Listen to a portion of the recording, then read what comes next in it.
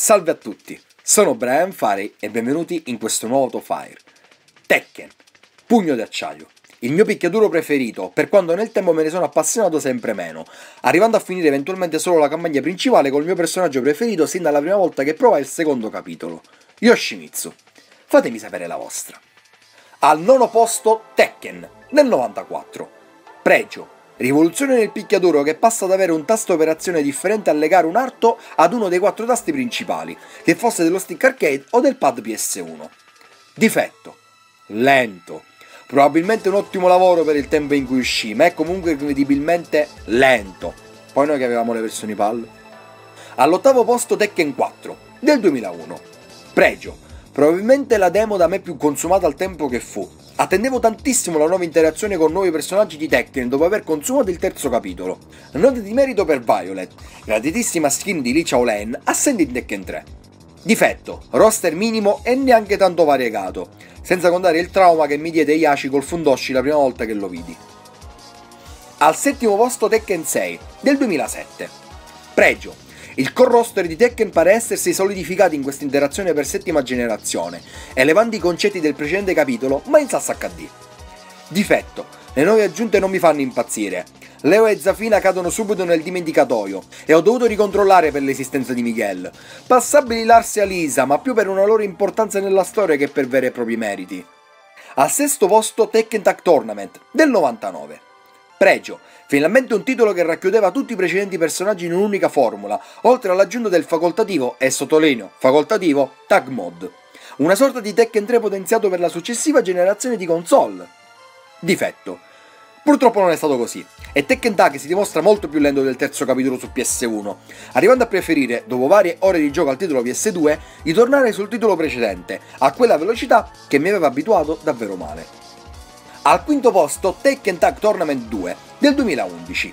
Pregio. Diretta evoluzione del precedente, anche Tekken Tag 2 riuniva tutti i roster precedenti in un solo titolo e, pratica da encomiare, varie aggiunte sono state rilasciate sotto forma di patch gratuita. Difetto.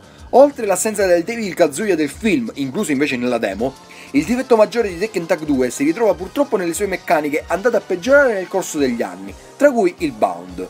Al quarto posto Tekken 2, del 95. Pregio.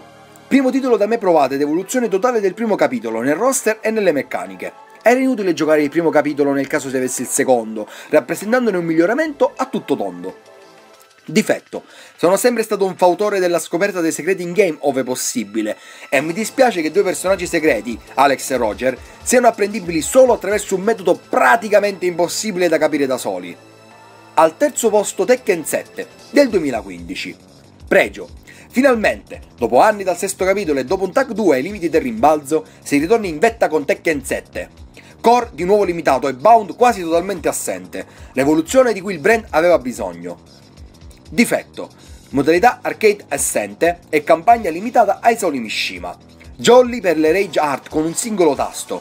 Lo so io quanto tempo ho perso per imparare lo Shungo Kusatsu di Akuma in Street Fighter Alpha 3.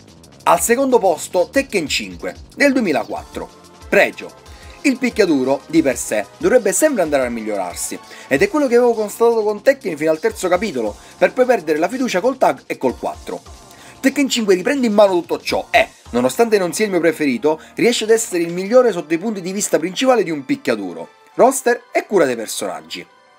Difetto. La modalità Devil Within è solo una biega imitazione 3D del Tekken Force. E al primo posto Tekken 3, del 97.